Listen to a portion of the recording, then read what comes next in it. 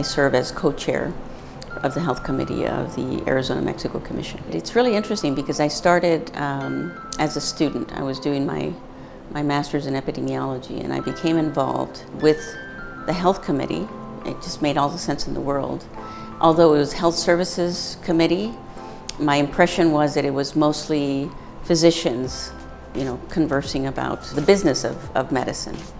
But when I started to getting involved, it was more, more public health oriented. Uh, and so that really piqued my interest.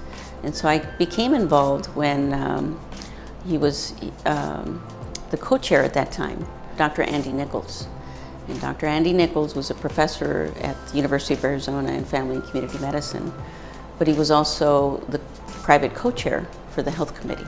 And this is, this is back in, back in the 90s, late 90s. And so he was a very inspirational uh, individual and I became quickly involved in some of the initiatives through the Arizona-Mexico Commission. Something that most people don't experience unless you live in border communities, unless you're part of a border state, and everybody knows, well, at least I hope everybody knows, that there are four border states with Mexico. From the west to the east, it's California, Arizona, New Mexico, and Texas.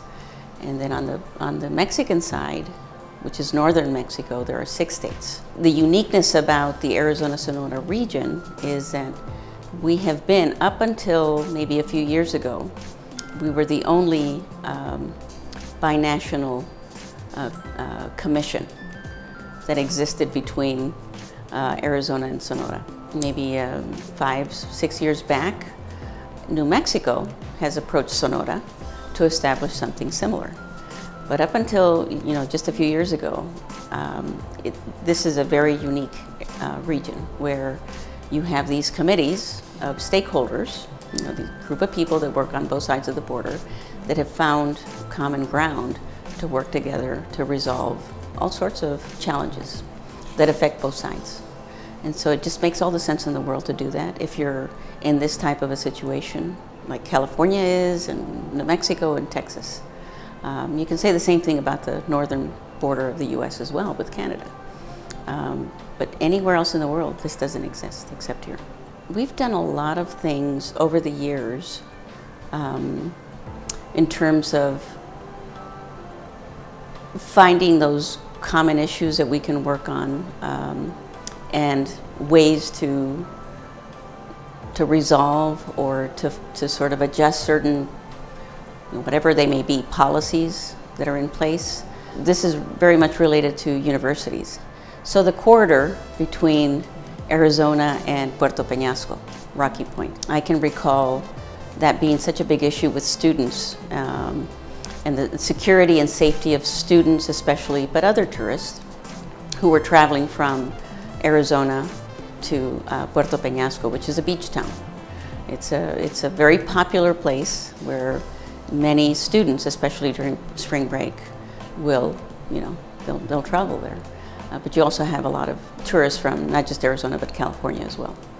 And so we were able to work together with, uh, with, our, with our counterparts in Sonora to set up a safety corridor.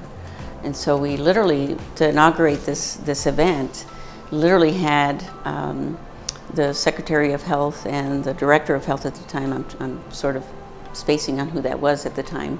Um, but we set up sort of a um, an area where they had to stop, where the tourist that was going south had to stop and pick up literature, and we would do this quick, quick and dirty education on the do's and the don'ts, right?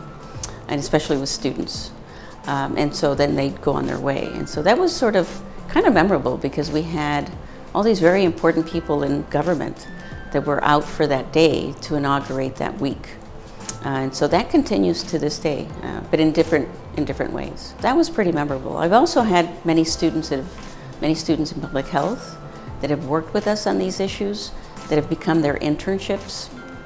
And that's always very memorable because the students have these epiphanies uh, about, wow, I didn't really know that we had these relationships with, with another country. You know, they, we take it for granted that you know, our state borders another country and another, another state within a country. And so it's that in and of itself is, you know, it's memorable because you know, we take that for granted. And it's a very fluid population. We go there just as often as they come here. Well, even before, even before working with and through the Arizona Mexico Commission, I was already working with the state of Sonora and other, other communities in Mexico. Using the framework of the Arizona Mexico Commission and the history and the, the relationship that has actually been fostered over many, many years, 60 years uh, this year. You know, it gives you that, it provides that framework, but it also provides that umbrella under which these issues that you want to address are taken seriously, right? Because you have the, whomever is in the leadership, whomever is the governor at the time, regardless of the party, it's, it's, about, it's about the issues at hand and the issues that you wish to address.